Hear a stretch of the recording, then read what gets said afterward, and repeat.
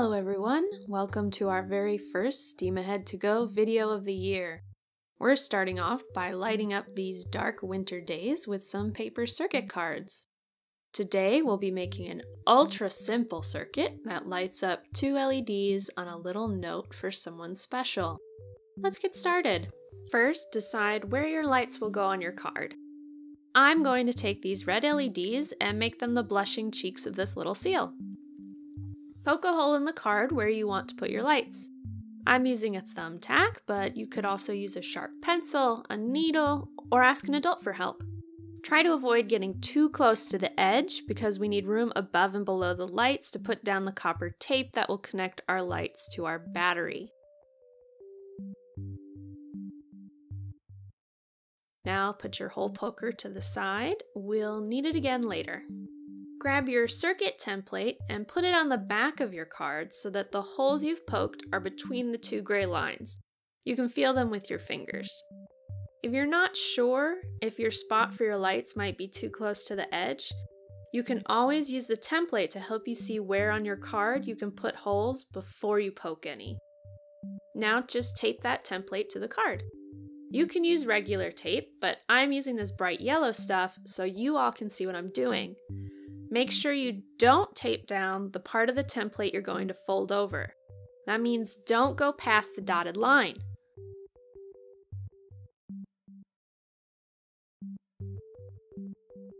You can fold over the flap now to see how it will sit.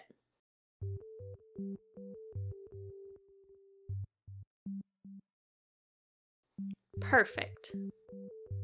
Now let's make our connectors. Take your copper tape and measure how much you'll need for the long gray line. Just lay it down on top of it and mark with your finger or by folding it. Then chop off the extra. Then, you guessed it, we do the same thing with the short end. We gave you slightly more tape than you need, just to give you a little wiggle room. Maybe you can come up with a creative way to use that little bit extra.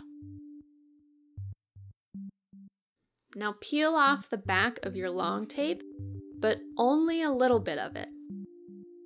And this is easier if you have nails.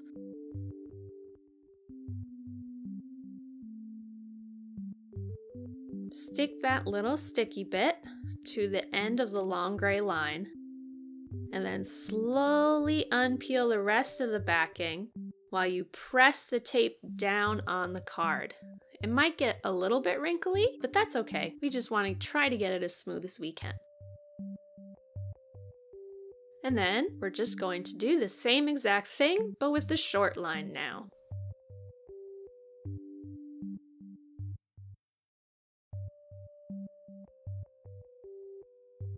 Once we get that tape down, we can grab our battery. These batteries have a positive and negative side, and it's important we get it right or the electricity won't flow through our circuit correctly. The positive side is easy to find. It has a big positive sign on it, and it's the only side with any writing. We want the positive side up, so just make sure you can always see the writing and you'll always get it right. But something's wrong. Only one copper strip should touch either side of the battery, but when I put it down on the card here, the bottom negative side touches both strips. How can we fix that? With tape! Put some tape down over the long copper tape where the bottom of the battery touches it. There's a box on your template to show you where.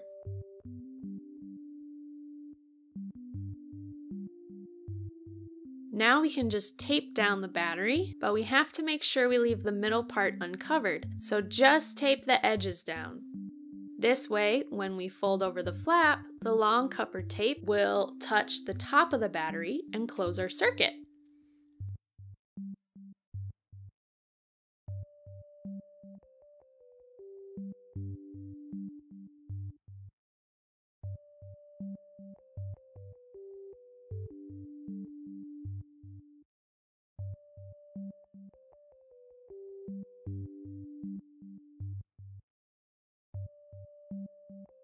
Make sure right now that yours does by folding it over and watching where the copper line goes.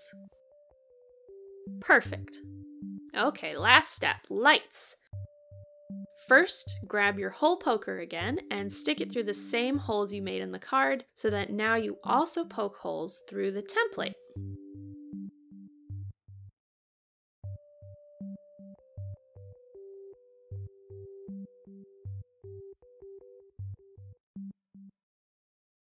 Now you can grab one of your LED lights. Do you see how one leg is longer than the other? The long leg is the positive end and the short leg is the negative end. Can you guess which leg touches which copper strip based on which copper strip touched which part of the battery? That's right, long to long and short to short. We made it simple for you. Push your LED's legs through one of the holes you punched. You might have to give a little extra push at the end to get the light to be pressed all the way against the card. Then fold your legs down so that the long positive one touches the long copper tape and the short negative one touches the short copper tape. Test that you have it right by pinching the legs against the copper and then folding the flap over so the long tape touches the top of the battery. This is kind of hard to do with only two hands. You can tell from how my light flickers that I have a hard time holding all those things in place. So ask someone in your family to help.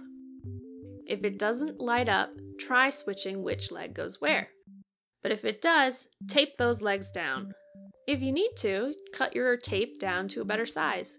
I did.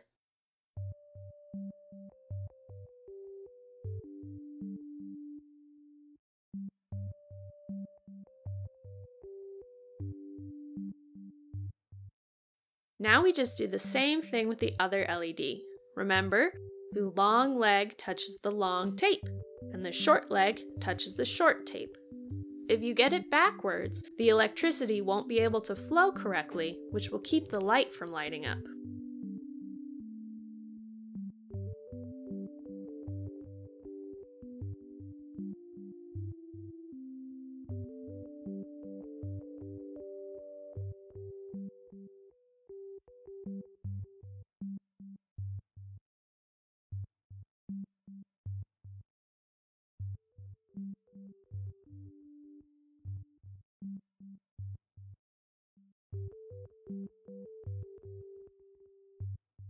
Once you have both lights taped in place, you might be done, as long as nothing's gone wrong. It looks like one of my lights isn't lighting up every time I press the flap down. I'm going to try squeezing each of the legs in case one of them isn't touching the copper tight enough on its own. And look at that, this bottom leg, every time I squeeze it, the light comes on. Let's try retaping that leg.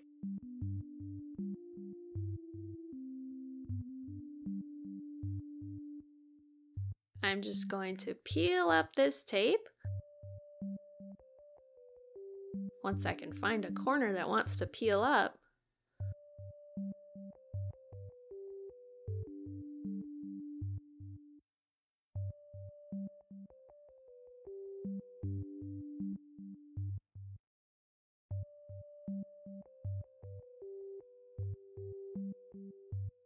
I'm going to move the leg just a little bit Maybe it was at a funny angle that made it hard to be pressed down. Push it down real hard as I tape it back, and look! My lights are shining bright. What warm, rosy cheeks my seal has now. If your lights aren't working, try doing what I did, and then check out the troubleshooting guide in your kit for steps to solve the most common problems. If you're having a hard time understanding it, ask an adult for help reading it. And then once your lights are on, you're all done.